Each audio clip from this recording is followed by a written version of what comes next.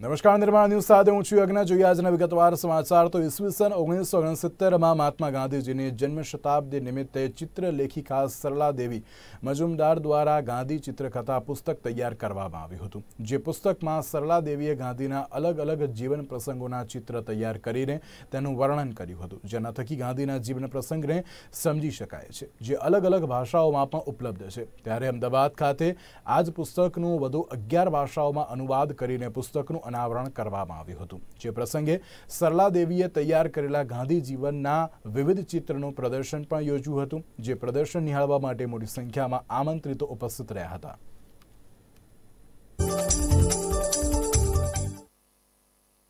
બસ બહુ જ સુંદર છે.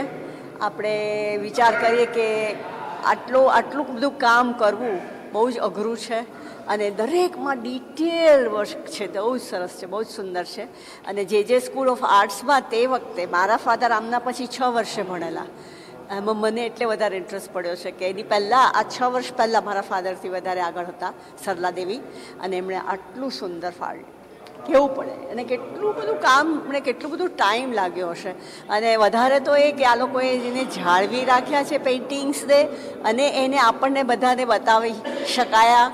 અને હજી એની ચોપડીઓ બને છે એટલે હજી પણ આ શેર થશે જનરેશન ટુ જનરેશન. અને આઈ હોપ કે એ લોકો કન્ટિન્યુ કરે આ વાત. બસ એટલે આજે સરલા દેવીનો આપણે તો બહુ જાણતા ન હોઈએ, પણ આ પુસ્તકો દ્વારા એ પહોંચશે, જુદા જુદા સ્ટેટ્સમાં પહોંચશે, જુદા જુદી બધી પ્રાંતોમાં, આપણા પ્રાંતોમાં પહોંચશે, બાળકો વાંચશે અને આનું ઇન્સ્પિરેશન લેશે અને પછી એ લોકો પણ આર્ટિસ્ટ બનવાનો પ્રયત્ન કરશે. કારણ કે અત્યારે આપણને પૈસા જ કમાવાનો વિચાર આવે છે, પણ આવા આર્ટિસ્ટ કે એવું સરસ ફાઇન આર્ટ કામ કરવું એ ઘણું અઘરું છે. તો આમાં આ પ્રદર્શનમાં મુખ્યત્વે બે સિરીઝ છે.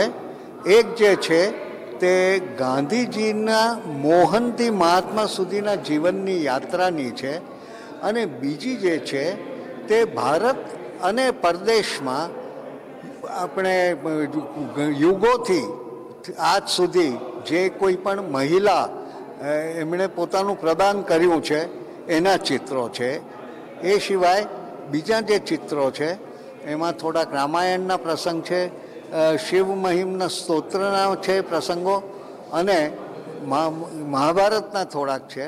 અને એ સિવાય બાકી સામાન્ય, આમ સરલા દેવીએ લગભગ સોથી વધારે ચિત્રો દોર્યા હતા. એ એમના મૂળભૂત સ્વભાવને કારણે એમણે ખાસ એનું લોકો સમક્ષ આવ્યા નથી. એટલે હવે અમે એમનું એ ઋણ અદા કરવા માટે આ પ્રદર્શન યોજ્યું છે.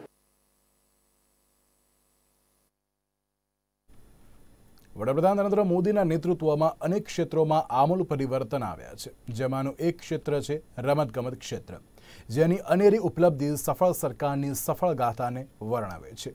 સફળતાની આ પરંપરાને અનુસરીને રાજ્યની ભૂપેન્દ્રભાઈ પટેલની સરકારે પણ